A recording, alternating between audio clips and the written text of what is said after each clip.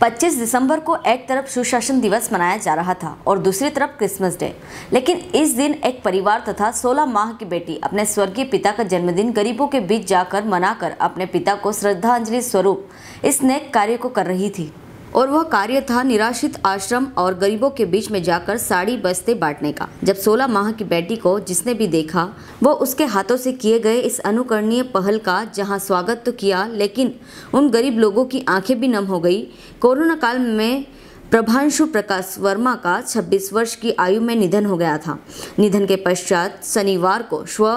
प्रभांशु के जन्मदिन पर 16 माह की बिटिया, कुमारी शिवाया अपने दादाजी प्रकाश वर्मा और परिजनों के साथ पहले नगर में गरीब बस्ती और खुले में रह रहे मजदूरी करने वाली महिलाओं, गरीब स्कूल में पढ़ने वाले बच्चों तथा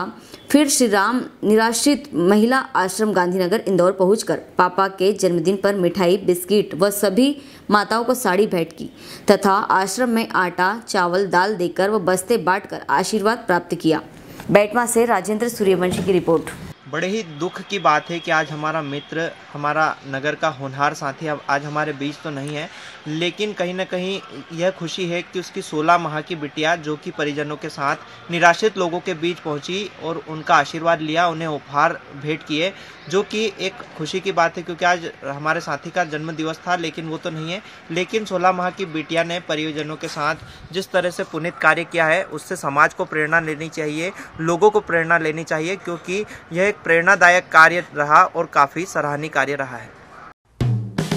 हेलो फ्रेंड्स आप देख रहे हैं हमारा channel S W twenty four news हमारे सारे वीडियो सबसे पहले देखने के लिए आप हमारे चैनल को सब्सक्राइब करें और पास में लगे बेल आइकन को दबाना बिल्कुल भी ना भूलें।